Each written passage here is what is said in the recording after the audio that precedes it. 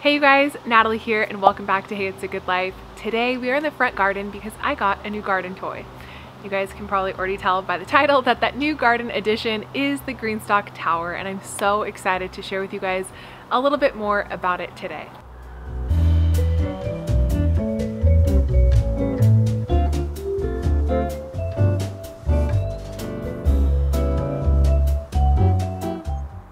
I just finished setting it up and I can already see a lot of reasons why this is a great addition to our homestead.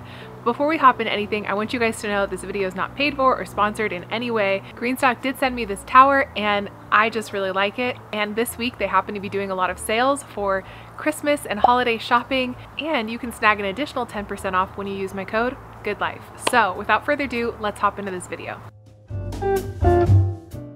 So first off, what is the GreenStalk Planter? The GreenStalk Planter is a vertical gardening system made in the USA, family owned and operated, and it allows you to grow up to 30 plants in a one and a half, two foot square space growing zone. And you can grow just about anything in the GreenStalk Tower. You can grow flowers or fruits and veggies. It will support just about any plant. So now let's talk supplies. For this project, you are not going to need very many supplies at all. A lot of you guys know that I like to build things around here, and while I do love building things because of the end result that it yields me, honestly, I like it when I don't have to use tools, and that's one of the really cool things about this project is that you don't need any tools. You just need the GreenStalk planter, and if you want, you can order a little mover so it can move around in your garden. You need about three big bags of quality soil, about one cubic foot of soil per tier, and that's it, no tools required.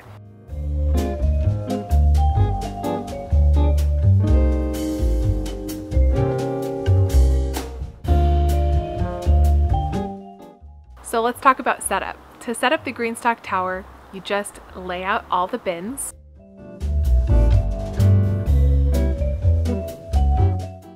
Fill each bin with quality soil. I like Happy Frog or Fox Farm. This soil unfortunately got a little bit dried out here in the California sun and I wanted to make sure that my soil had enough organic matter so I decided to add a little bit more in just to make sure that these plants were getting off to a good start. And it's kind of a general rule of thumb for me around here that if I'm going to be planting something, I want to inoculate it with as many wonderful microbiome building materials like nematodes, like worms, like worm castings, and all of those nutrients. So I tend to in general add compost and worm castings when I plant anyway, just because I find that out here, dry, arid climate that is zone 10, Southern California, it seems to help my plants get off to the right start. You may want to add some compost or organic matter just to help boost with the nutrients and water absorption capacity of your soil. Next, all you have to do is add the gray water discs. Then it's time to stack each tower, ensuring that each foot meets the top of the next tier in the proper fashion. You want to make sure it clicks right into place so that each tier is properly supported and the weight is evenly distributed. Next, you get to plant to your heart's content and you can either use plant starts or seeds, your choice.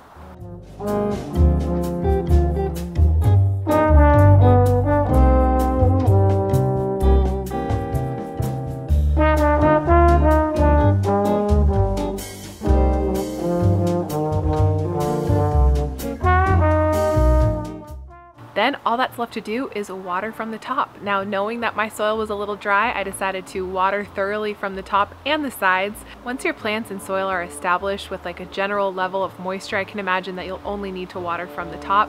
But knowing that my soil was a little bit dry and knowing that California is pretty dry in general, I decided to just hose down the whole thing. Look at it, isn't it so cute? I just love this thing already and I'm so excited for so many reasons to have this right next to the kitchen so I can pick herbs right here. Don't even have to bend over, so nice. But let's hop into that. Let's talk a little bit about why I already like this system so much. So first off, if you've been here a while, you know that I started gardening and learning how to grow food in an apartment. And I made a lot of mistakes when I built those first garden beds. And, and while I was using a square foot gardening method, this would have saved me so much time and so much effort and I could have grown a lot more in a small space had I just bought a couple GreenStalk planters. So I think this is a wonderful solution if you're like me, growing in a small space with big farm dreams, like this is a great way to get your hands dirty, start growing food. You don't have to build the garden beds like I did and make a thousand mistakes. Just Get something that's already prefabricated, add some soil, add your plants and seeds, and you're good to go. It is such a space saving solution because as you can see, it only takes up about one and a half square feet of space, which is so nice if you want to grow a lot of food in a small space. So whether you're in a condo or in an apartment or in a or in a home with a small-ish yard, although our yard is probably pretty big for this area, but moral of the story, if you're working with a small space and you want to grow a lot of food, this is a great option. Okay, now this is the reason why I personally am so excited about this. So I really wanted to have an herb garden near the kitchen when we first built our homestead or we're building all of our beds here. And it ended up not being an option for a lot of different reasons from garden beds breaking down to cats, not my own, deciding to make litter boxes out of the garden beds. And I just thought, you know what, we're gonna turn the front garden into pollinator garden and I'll forego my herb garden. But now I can have herbs that I don't have to bend over to pick that are right here, right outside the kitchen door. And I'm so, so excited about that. Which brings me to another point, not having to bend over to harvest anything is really nice, being 30 weeks pregnant and being a college athlete with lots of back injuries. I'm doing everything I can around here in super back friendly ways and just always being mindful that there is this thing that I deal with. It is a back injury. Sometimes it flares up. And so when I can avoid bending over or lifting anything heavy, I try to. and this is a great way to avoid having to lean over garden beds or bend over to harvest things. It's really nice because I can just stand and, pluck what I need. We've kind of already touched on this, but vertical gardening is obviously a great option for anybody who wants to save space or maximize their growing capacity. By growing up, you're saving square footage on the ground, right? So again, the GreenStalk Tower is a great vertical growing option. I feel like a lot of us are familiar with cattle panels or trellises or chicken wire, but I feel like this is a contender when it comes to the vertical gardening arena and it's something that should be considered if that's something you're interested in. Ah, point number five, it's movable. So my little feet that came with it are being shipped separately and I'll show you guys how to add those in the update video. Uh, but one really cool thing about this is that you can order a little mover and you place it on the bottom and then you can move it to where this tower needs to go. So for example, in my zone, sometimes things get really hot and I need to protect them from the sun. While moving this out of full sun and into some shade, being that it's on wheels, that makes it really easy to do. Also, if you're indecisive like me about garden design, it's nice to have the option to move things if you decide you don't want them there anymore. So I like anything with wheels that I possibly can put on wheels, hence why I built a greenhouse on wheels. And if I could have, and it was my original design and intent, I would have built all of our garden beds on wheels as well. Story for another time. I like things on wheels. They're great if you're not in a permanent growing situation like me, if you're a renter, if you know that you're going to be moving, if you're in like a temporary housing situation. I like anything with wheels. You can get some for the GreenStalk Tower. I think it would add a lot of value, something to consider. Okay, now you heard me mention a little something about neighborhood cats earlier. Uh, we have a lot of cats in this neighborhood and sometimes they make garden beds their litter boxes.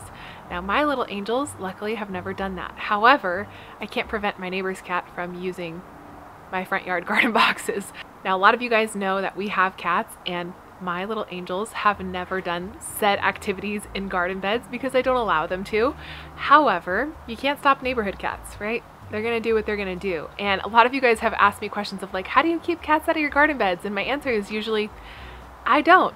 But I can get creative with what I plant and try and deter them, knowing that they don't like mint or lavender or strong scented things or citrus. Like, those are all ways that I kind of repel cats in the neighborhood but why not just design something or use something that's not cat friendly? Like no cat is gonna wanna hop in here and try to use this as a litter box. So if you struggle with cats in your neighborhood or you're wanting to protect your herbs like me from said cats of the neighborhood, this is another great option for that situation.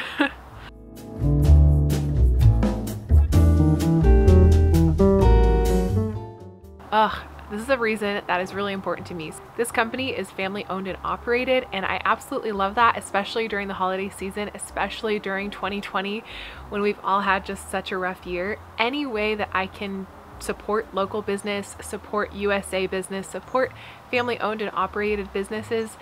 I am looking to do that especially this season and I know a lot of you guys are as well. So if you're looking for gardening solutions either for yourself or for the gardener in your life, I'd strongly consider supporting GreenStalk Tower because how cool is it that when you buy a GreenStalk Garden Tower, you know that you're supporting a family owned and operated business here in the USA. I really like that and it's a reason why I will definitely be buying more of these for my friends and family who want to grow big in small spaces.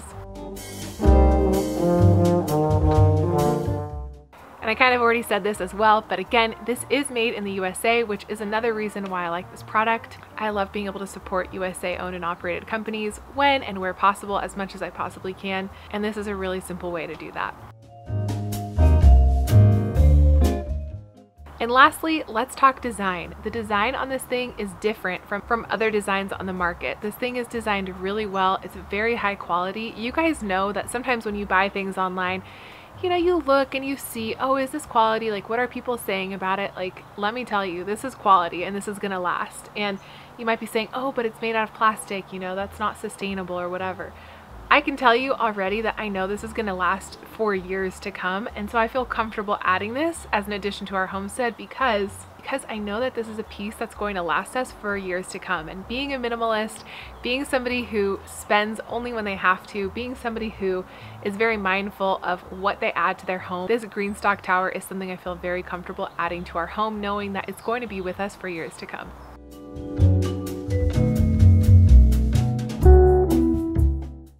That's it. Thank you so much for joining me today, you guys. I hope you enjoyed this video and hopefully offered you some ideas of how you can grow big in your small space.